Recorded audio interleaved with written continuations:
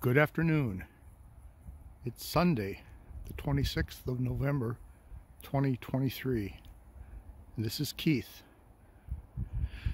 It's day number nine of the Wisconsin whitetail deer rifle hunting season. And we had fresh snow overnight, approximately two inches.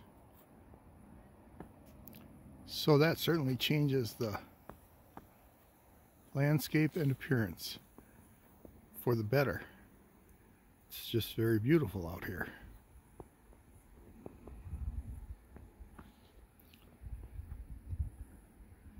So walking in, it's approximately 12.30 p.m. I saw only one fresh set of rabbit tracks.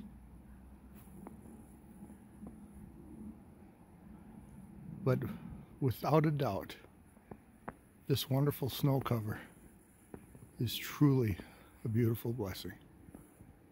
Thank you and have a great Sunday after Thanksgiving Day.